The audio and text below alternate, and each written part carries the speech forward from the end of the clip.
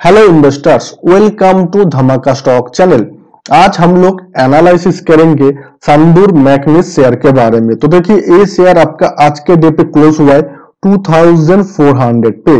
And high गया था आपका 2684.35 एंड लो गया था 2310.05 ओके तो अभी हम लोग क्या करेंगे? इसका एक बार चार्ट एनालिसिस कर लेंगे। तो उसके लिए पहले हम लोग इसका बिना इंडिकेटर लगा हुआ चार्ट में जाएँगे और वहाँ पे जाके देख लेंगे कि इंडिकेटर मतलब बिना इंडिकेटर लगा हुआ चार्ट में हम लोगों को क्या टेन दिख रहा है? अप टेन दिख रहा है कि डाउन टेन दिख रहा है? ओके तो अभी देखिए मैंने स्क्रीन पे इस शेयर का बिना इंडिकेटर लगा हुआ डेली चार्ट ओपन कर लिया तो पहला चीज़ देखिए इस जगह पे।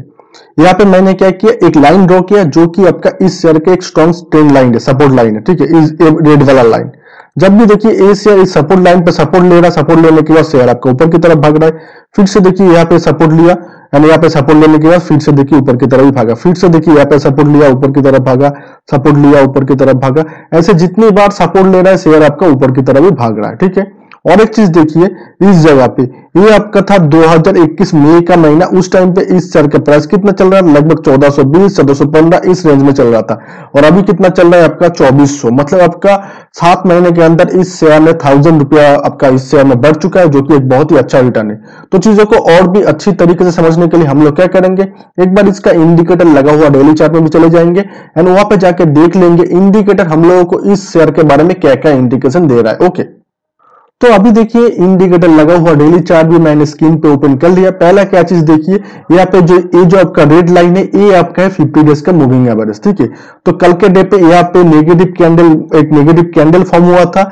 मतलब कल के डे पे मतलब आपका फ्राइडे के दिन में लास्ट डे पे एंड उस कैंडल में आपका सुपर टेन ने सेल सिग्नल भी यहाँ पे दिया था। लेकिन ये जो स्कैंडल जितना भी गिरा 50 डेज़ का जो मूविंग एवरेज है, इसको तोड़ नहीं पाया और यहाँ पे सपोर्ट लेते हुए आज के डे पे यहाँ पे हम लोगों को फिर से एक पॉजिटिव कैंडल दिख रहा है, जो कि एक अच्छा बात है। क्योंकि अगर पास्ट हिस्ट्री में देखेंगे, जब भी आपका 50 डेज़ का जो मूविंग एवरेज है, यहाँ पे शेयर ने सपोर्ट लिया है, तब भी आपका शेयर आपका ऊपर की तरफ़ ही भागा है। यहाँ देखिए सपोर्ट लिया शेयर आपका ऊपर की तरफ़ ही भागा है। और डेली चार्ट के हिसाब से अभी शेयर आपका fifty days 100 days and 200 days moving average से ऊपर है। आरएसआई देखिए, नीचे की तरफ़ गिर रहा था, लेकिन आज के डे के बाद देखिए, यहाँ पे एक आपका स्ट्रेट आपका मिडिल जोन पे चला गया है। और आपका एमएसीडी एक आपका न्यूट्रल जोन पे है। मतलब ओवरऑल अगर बात करेंगे तो देखिए डेली चार्ट में हम लोगों को एक नीला झूला आपका टेक्निकली एक इंडिकेशन मिल रहा है, लेकिन ओवरऑल अगर देखेंगे तो यहाँ पे हम लोगों को एक आपटेनी दिख रहा है। तो चीज़ों को और भी अच्छी तरीके से समझने के लिए हम लोग क्या करेंगे? सीधे चले जाएँगे इस शेयर के एक बार वीकली चार्ट पे।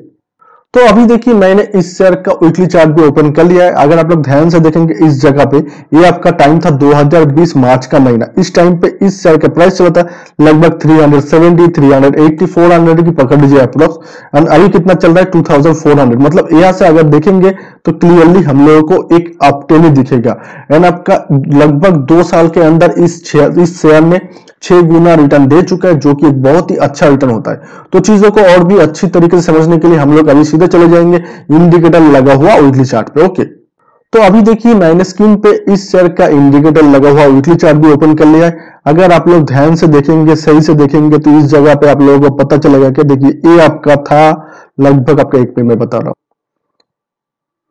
ये आपका था 2021 अक्टूबर का एक हफ़्ता यहाँ पे एक पॉजिटिव कैंडल फॉर्म हुआ था।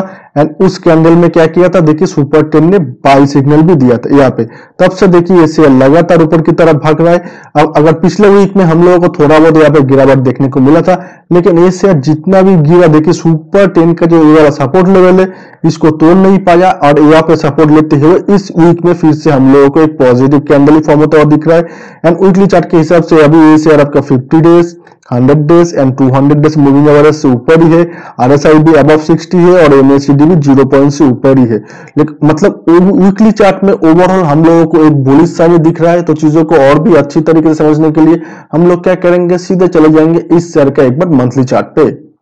तो अभी देखिए मैंने स्क्रीन पे इस शेयर का मंथली चार्ट भी ओपन कर लिया तो ये देखिए आपका दिसंबर 2021 का महीना था। ये पे एक बहुत ही ज़बरदस्त एंड पॉजिटिव कैंडल फॉर्म हुआ था एंड इस कैंडल में सुपर टेन ने बाई सिग्नल भी दिया था। फिर देखिए मतलब पिछले महीने मतलब जनवरी के महीने में यहाँ पे हम लोगों को कुछ गिरावट देखने को मिला। लेकिन फिर से देखिए अब इस महीने में फिर से हम लोगों को एक पॉजिटिव कैंडल यहाँ पे फॉर्म होता हुआ दिख रहा है, जो कि एक अच्छा बात है। एंड सुपर ने भी ऑलरेडी आपका दो महीना पहले यहाँ पे आपका बाइंग सिग्नल दे चुका है। अभी देखिए, अगर यहाँ से अगर देखेंगे तो ये शेयर कॉन्टिन्यूसली हम लोगों को अपटेन नहीं दिखेगा। अगर आरएसआई की बात करेंगे तो आरएसआई भी अब सिक्सटी और एनएसीडी की बात करेंगे तो एनएसीडी भी ज़ीरो पॉइंट से ऊपर है।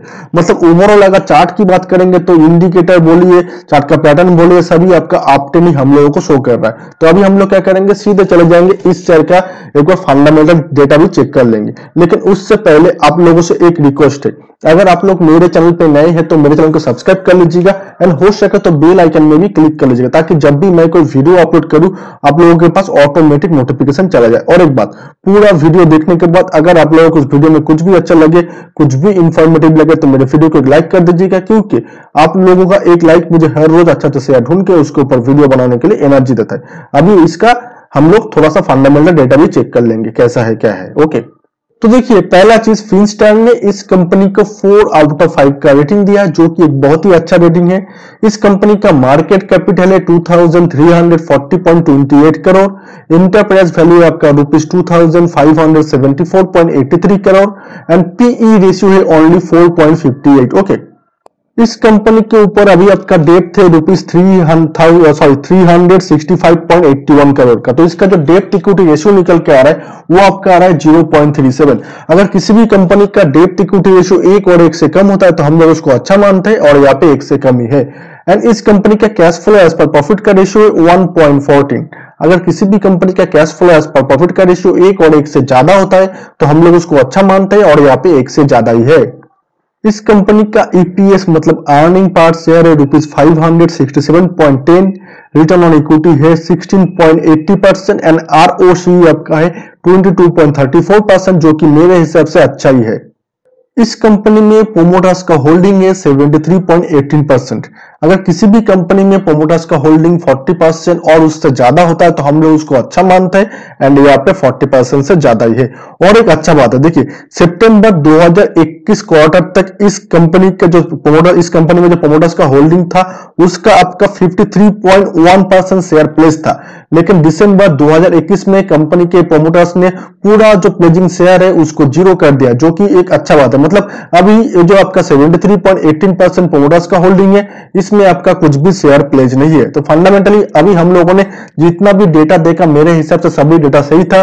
एंड टेक्निकल चार्ट भी इसका बहुत ही अच्छा है। तो मेरे हिसाब से अब अभी जो इसका करंट मार्केट प्राइस चल रहा है, लगभग 2400 का, इसी प्राइस पे अगर इस शेयर को खरीदा जाए मतलब लगभग इसी प्राइस पे अगर इस शेयर को खरीदा जाए, और अगर आप लोगों का नज़रिया मिनिमम 30 से 40 दिन का भी है तो मुझे जो लगता है कि 30 से 40 दिन के अंदर ये शेयर आपका 2700 का जो टारगेट है, वो भी अचीव कर जाएगा। लेकिन कुछ भी एक्शन लेने से पहले आपका जो फाइनेंशियल एडवाइजर है, उससे एक बार ज़रूर कंसल्ट कर लीजिएगा, क्योंकि मैं कोई सेबी रजिस्टर्ड पर्सन नहीं हूँ एंड मैं यहाँ पे किसी भी तरीके का कुछ भी टिप्स नहीं देता हूँ। तो मैं क्या करता हूँ, मेरा जितना टेक्निकल एंड फंडामेंटल का नॉलेज है, उसके ऊपर बेस करके वीडियो बना के आप लोगों को सही इंफॉर्मेशन देने की कोशिश करता हूँ कि कौन सा शेयर टेक्निकली कैसा है, कौन सा शेयर फंडामेंटली कैसा है। तो आज के लिए इतना ही पूरा वीडियो देखने के लिए आप सभी को दिल से बहुत बहुत धन्यवाद।